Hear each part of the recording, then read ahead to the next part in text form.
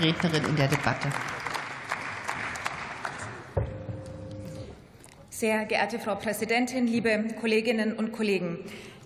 Ähm, als letzte Rednerin in der Debatte möchte ich gerne etwas reflektieren, was mich die ganze Zeit umgetrieben hat, nämlich die Frage der Schuld. Es wurde hier ständig von Schuld gesprochen. Wer ist schuld an dem jetzigen Zustand? Und ich stelle jetzt aktuell, ich stelle jetzt aktuell einfach schlicht die Frage, wer ist in der Verantwortung im jetzigen, in dem jetzigen Moment? Und da muss ich einfach ganz klar sagen, in der Verantwortung, in der Verantwortung ist diese Bundesregierung, dieser Gesundheitsminister und es sind Sie als Parlamentarier. Und deswegen reden wir auch davon, wer ist in der Verantwortung, um Dinge jetzt zu verändern.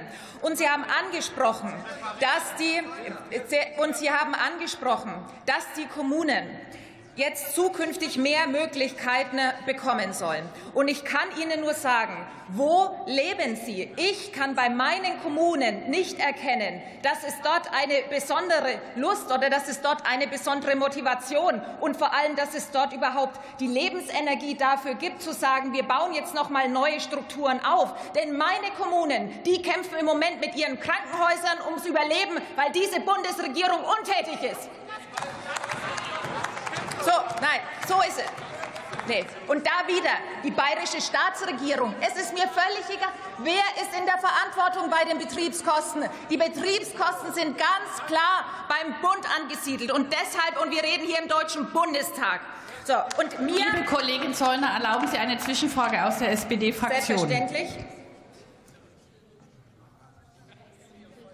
Präsidentin und vielen Dank, Frau Kollegin, fürs Zulassen der Frage.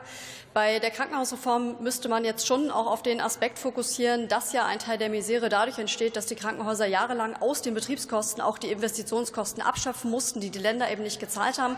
Ich wollte aber eigentlich die grundsätzlichere Frage stellen weil es ja um Verantwortung geht. Und das stimmt, wir sollten uns hier auch nicht nur Verantwortung hin und her schmeißen. Aber Sie tun gerade so, als würde das Problem des demografischen Wandels eins sein, was erst in dieser Legislatur um die Ecke gekommen ist und was man in den vorigen Legislaturen nicht hätte absehen können. Und deswegen die Frage, wenn Sie in Ihre Gegenvorschläge ja auch formulieren. Ne? Ich habe so ein bisschen was durchgehört. Fachärzte, äh, Fachärztinnen könnte man auch budgetieren. Warum machen Sie es dann nicht ehrlich und schreiben dann immer auch dahinter, was das am äh, Beitragssatzsteigerung bedeuten würde? Und zwar in einer Situation wie dieser, die nicht so finanziell rosig ist wie in den vergangenen Jahren. Beim Thema, äh, beim Thema der Entbudgetierung möchte ich Ihnen sagen, das war ja ein zentraler Punkt, dass Sie die Hausärzte entbudgetieren wollen. Und ich werbe nur sehr darum, dass Sie sich mal anschauen, wo überhaupt noch Entbudgetierungsbedarf in dem Bereich da ist. Es ist nämlich eine Mogelpackung, was Sie hier gerade machen. Die Stadtstaaten profitieren. Aber in den meisten, allermeisten Regionen gibt es überhaupt kein Problem beim Thema der Entbudgetierung. Bei Hamburg, Berlin, okay. Aber zum Beispiel im Freistaat Bayern, das sind minimale Summen, weil die meisten Regionen entsprechend schon profitieren.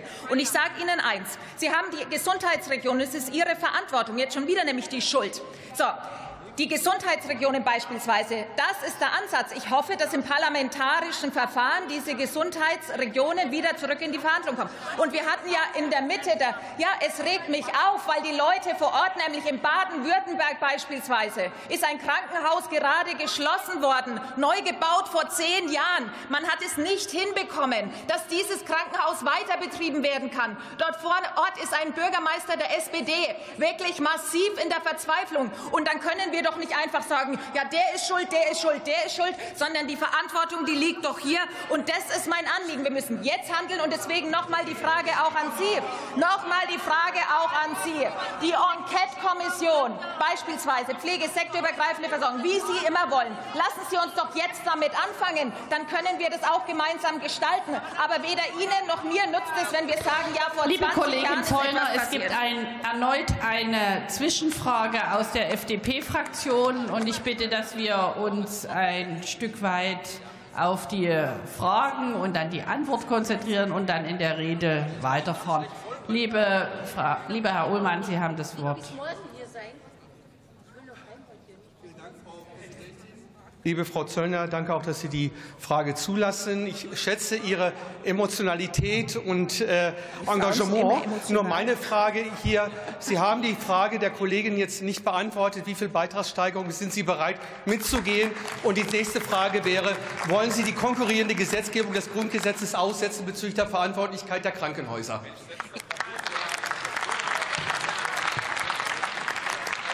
Würden Sie den letzten Satz noch mal wiederholen, bitte?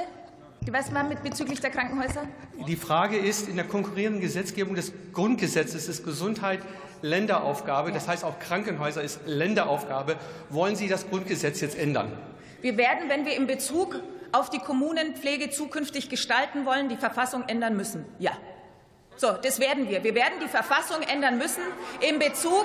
So, ich sage, das ist, das ist meine Überzeugung. Das ist das ist meine Überzeugung. Das ist meine Überzeugung. Unsere Generation, unsere Generation wird diesen demografischen Wandel beantworten müssen. Und deswegen sage ich Ihnen, das ist meine Überzeugung. Dann haben Sie gesagt, ich bin zu emotional. Ich sage Ihnen, nee, es stimmt. Sie sagen, ich soll, genau, ich schätze Ihre emotional, wie auch immer. Männer sind engagiert, Frauen sind emotional. Wissen Sie, wie, nee, so, so kommt es rüber. So, und da habe ich nämlich keine Lust mehr drauf. Da habe ich wirklich keine Lust mehr drauf. Das sage ich Ihnen. So, natürlich bin ich emotional, denn nur mit Leidenschaft verändert man etwas. Und das Thema der Migration und das Thema der Gesundheit, das wird uns um die Ohren fliegen. Und diese Bundesregierung ist nicht schuld, aber sie ist in der Verantwortung, etwas zu ändern. Und darum geht es heute.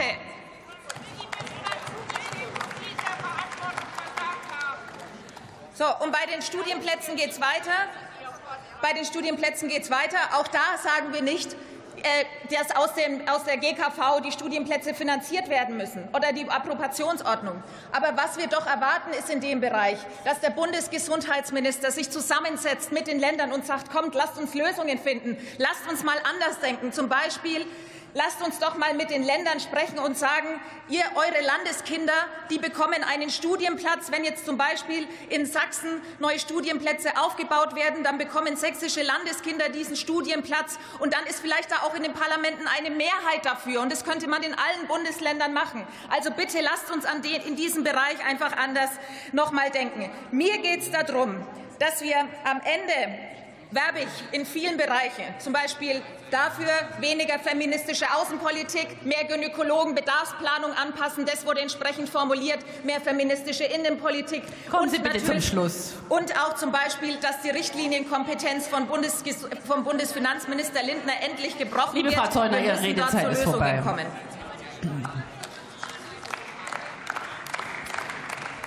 Und damit schließe ich die Aussprache.